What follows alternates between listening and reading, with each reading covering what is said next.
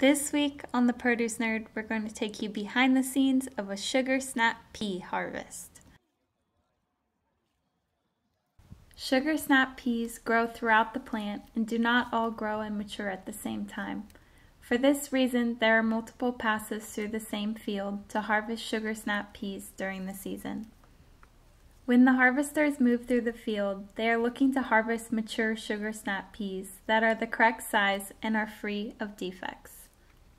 When harvesting, the workers also need to remove the calyx, which is the top portion of the sugar snap pea, connecting it to the plant. The workers move through the field at their own pace, filling their buckets. In this case, the workers are working piece rate, so they are paid based on the amount harvested throughout the day. Once a bucket has been filled, it is taken to the quality control station, where the harvested amount is transferred into boxes and weighed.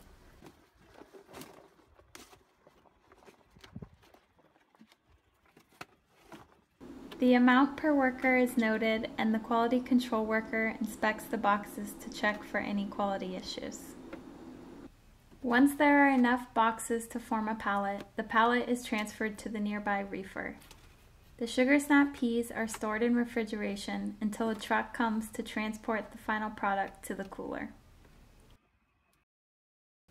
Thank you for watching. Please subscribe to theproducenerd.com where a new blog will be posted every Tuesday.